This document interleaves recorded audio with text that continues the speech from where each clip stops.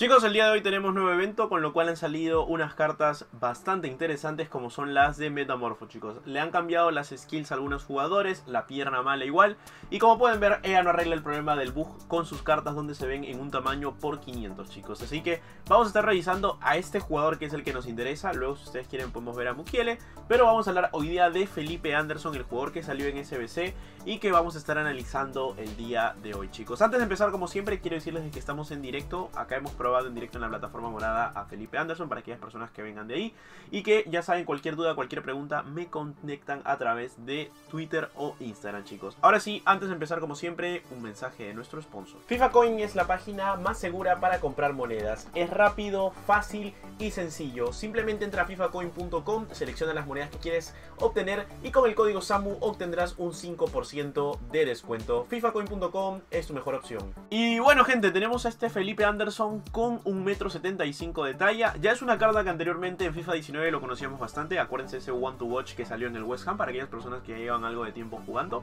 5 skills creo que es uno de los cambios más importantes con respecto a la carta de Headliner. Y además que ahora es zurdo chicos, ¿ok? Le han cambiado la pierna hábil, ahora Felipe Anderson es zurdo.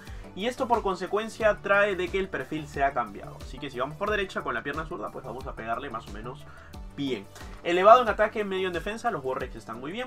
Como les dije, las 4 de pierna mala se conservan. Ahora con las 5 skills, 5 partidos, 4 goles, 2 asistencias. Lo hemos probado en diferentes posiciones, chicos, porque yo sé que hay gente con fetiches raros que cuando ve 75 de defensa creen que es un MC meta. Así que, no, chicos, esto no es un Yuri ni un Canales Gang. Este jugador ya tiene otras características diferentes y de eso es lo que vamos a hablar a continuación. Así que vamos primero con los rasgos, tiene el rasgo de tiro colocado, lo he hecho bastante bien con zurda, lo he probado y bueno, siempre ha ido a directo al arco, una que otra vez me ha mandado al palo y la otra que sí pues ha podido ser gol. Así que en tiro, tiro colocado se nota bastante. Luego los atributos chicos, que creo que es una de las cosas que más interesan dentro de este jugador. Empezamos con el ritmo chicos, ritmo de 99 se siente veloz, se siente muy rápido, así que en ese aspecto no hay nada que reclamar. El ritmo es lo más top, así que no podemos decir nada malo.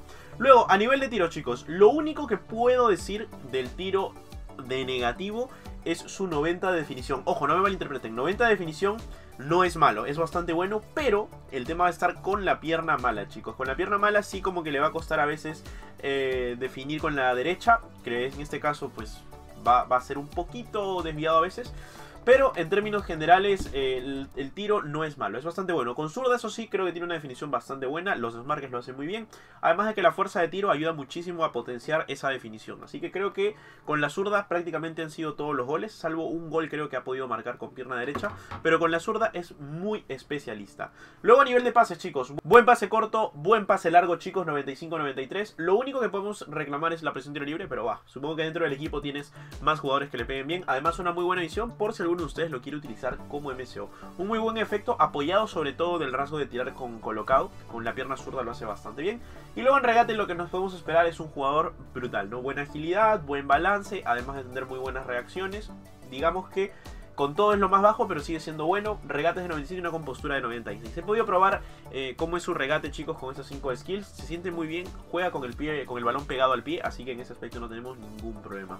Y luego en defensa, chicos, intercepciones de 94. Bastante alto las intercepciones para luego opacarse con ese 64 de defensa. Esta es la razón principal, chicos, por la cual les digo que no lo utilicen de MC, porque su percepción defensiva es baja. Lo usé como MC con Sentinela y no marcaba nada. Eso sí, corta a veces en las jugadas cuando tiene que interceptar algún balón. En ese aspecto puede recuperar, pero defensivamente es flojo, así que no lo recomiendo. Y luego en físico, chicos, una energía de 91 que está bastante bien para los Warrex. Fuerza de 77, lo normal, no gana muchas divididas y en ese aspecto es parecido a Rodrigo. Y en agresividad de 95, chicos. Dicho esto, vamos a hablar un poquito más a fondo de lo que ha sido mientras ustedes ven las mejores imágenes de este jugador y a ver si vale la pena con respecto a otros extremos que tenemos dentro del juego. Bueno chicos, hablando un poquito más a fondo de lo que ha sido Felipe Anderson, la verdad es una carta que me ha gustado bastante, voy a empezar hablando rápidamente de las posiciones que lo he probado. Empezamos como MC con Sentinela, la verdad es que no lo recomiendo, como les había adelantado, es una puerta abierta, no tiene mucha marca y lo único que va a hacer es interceptar balones, más no se va a posicionar bastante bien.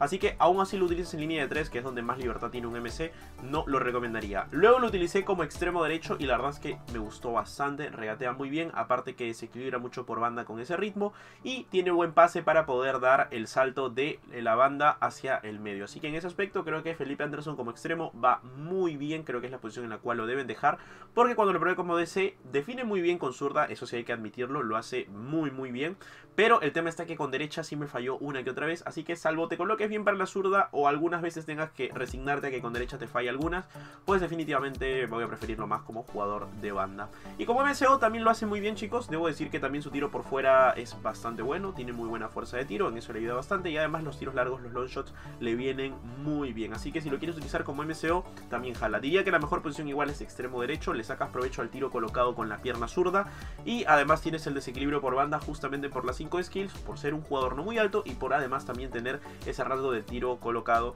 y bueno, todo lo que recomienda a este Felipe Anderson.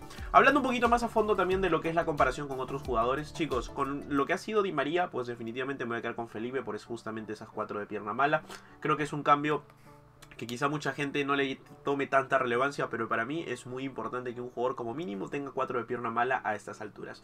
Yo ya si tengo a este Felipe, pues no tendría tanta necesidad de irme por un jugador como Garrincha, pero por ejemplo, si yo tengo a Rodrigo y ya me hice ese SBC, pues no le encuentro sentido a este Felipe Anderson para cambiarlo, salvo que sea como revulsivo y por ahí pues lo quieras meter en un segundo tiempo, por ahí que lo vas a meter como extremo izquierdo, pues en ese aspecto yo creo que podríamos hacerlo. Pero si van a tener a Rodrigo y quieren cambiar ese Rodrigo por Felipe, no lo recomiendo chicos, ya que ese Rodrigo a día de hoy sigue siendo una carta muy buena. Claro que este Felipe está por la mitad, o bueno, cuesta la mitad de lo que costó ese Rodrigo, pero también Rodrigo ya salió hace bastantes semanas y creo que ya para el tiempo que ha pasado, pues lo que se ha podido disfrutar de esa carta es muy bueno chicos. Y con respecto a los otros extremos derechos que tenemos en la Serie A, la pregunta típica va a ser si tengo a Berardi, pues sí, es mejor Felipe Anderson que Berardi. Y con respecto a Insigne, chicos, por si ustedes tiene esa duda, pues bien, Felipe Anderson te gana en el aspecto de que no lo van a tumbar tan fácil, tampoco es que sea fuerte físicamente, eso hay que decirlo, chicos. Las divididas no las va a ganar todas, pero definitivamente va a ganar mucho más que Insigne. ¿Tiene mejor movilidad que Insigne?